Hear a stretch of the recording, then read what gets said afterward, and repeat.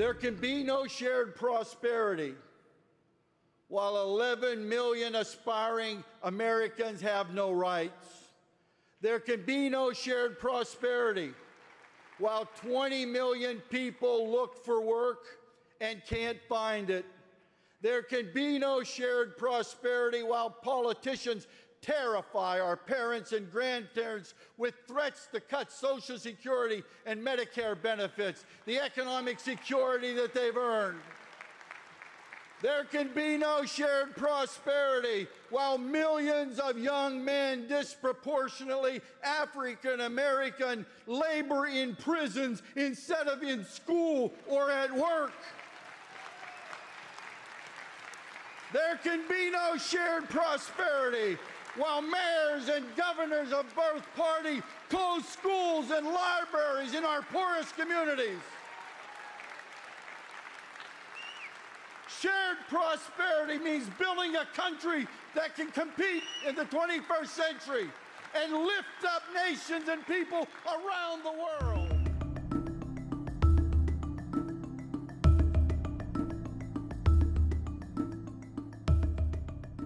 I'm Laura Flanders, and here on the GRITtv stage at the AFL-CIO Convention 2013 in Los Angeles, I am very proud to welcome Lee Saunders. He is president of AFSCME, which is the Federal, State, County, and Municipal Employees Union. He's been one of those speaking from the stage about the resolutions that are being passed here at this uh, convention. One of those resolutions in particular, one of many firsts, had to do with incarceration.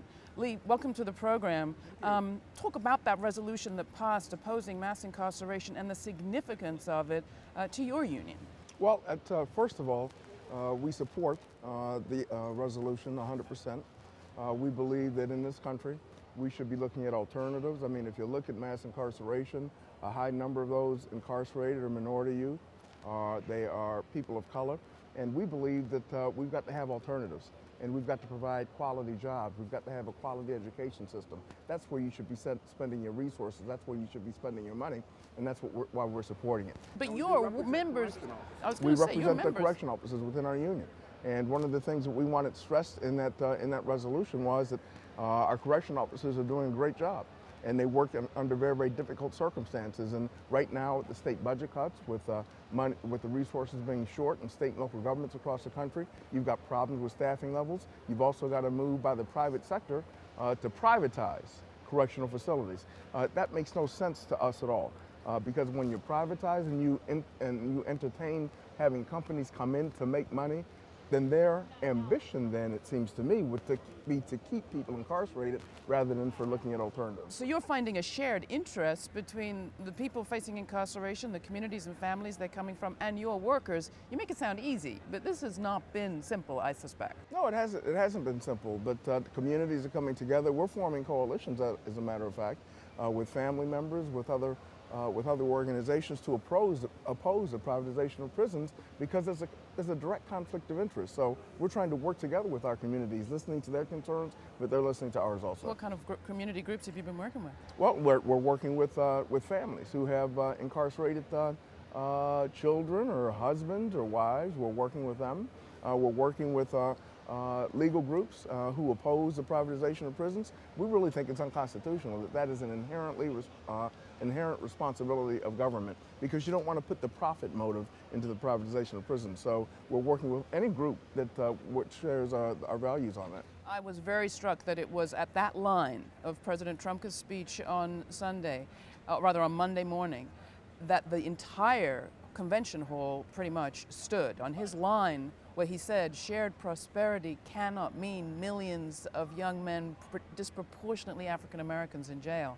Uh, were you struck by the amount of support for this resolution at this convention? No, I, I think that it's uh, natural for us to believe uh, uh in a resolution such as this. I think that uh, what we support and what we aggressively push for is quality education, quality public education in this country. We aggressively push for quality jobs in this, in this country, training individuals so they can move from uh, working poor to the middle class. That's what the labor movement is all about. And that's why the support for that resolution is not surprising at all. All right, one more resolution I'd love you to address, and that is the one on shared prosperity. What will that actually mean? Shared prosperity, of course, we're all for it. But, but what does that mean to have that resolution passed at this convention? Well, you have a, a country right now where the top 1% are gaining all the power and the wealth at the expense of the 99% of Americans who are try, trying to play by the rules every single day, uh, that working hard, uh, trying to make ends meet, putting food on the table, trying to send their kids to school, but the playing field is not level. It's not level.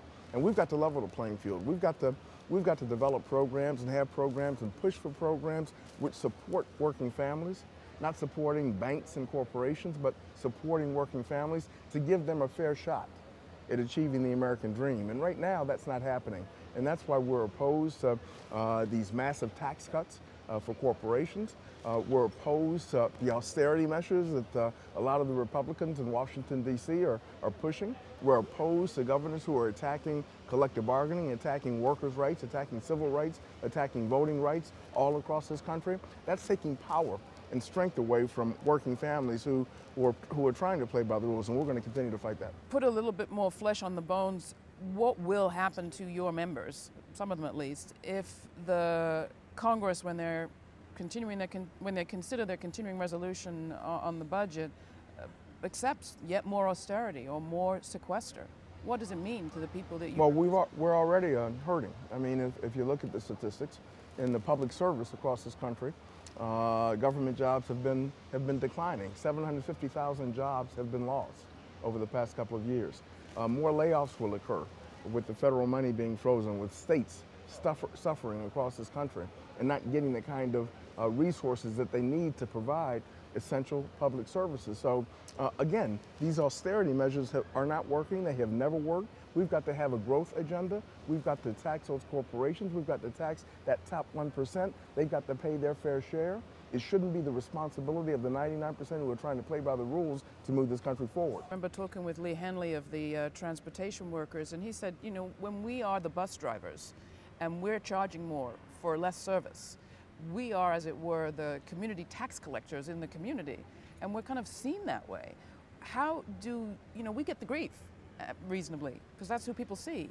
Um, how do you build common interest and try to head off the divide and conquer tactics of the media that would whip up one group against the other? Well, that's why this convention is so important and the activities of this convention and the resolutions that we're passing. Uh, the labor movement can't do it alone. Uh, our density is down. We represent 11% of the workforce. 6% uh, in the private sector, about 35% in the public sector, uh, but we need a healthy private sector to continue to move this labor movement forward. Uh, we've got to develop alliances and coalitions with our partners outside of labor, uh, within our own communities, working with civil rights groups, religious organizations, students, retirees, women's organizations, people who think like us, who care about jobs, who care about quality jobs, who care about their communities. And we've got to, we've got to develop relationships, not only at the national level in Washington, D.C., but at the grassroots level, at state and local governments. We've got to develop those relationships, develop an action plan, and then move that plan forward. And for those who haven't got onto it, cottoned onto it yet, what does being a member of a union mean to a public employee, to a state, county, federal, municipal It employee? means protections. It means quality wages. It means quality benefits. It means having a voice on the job.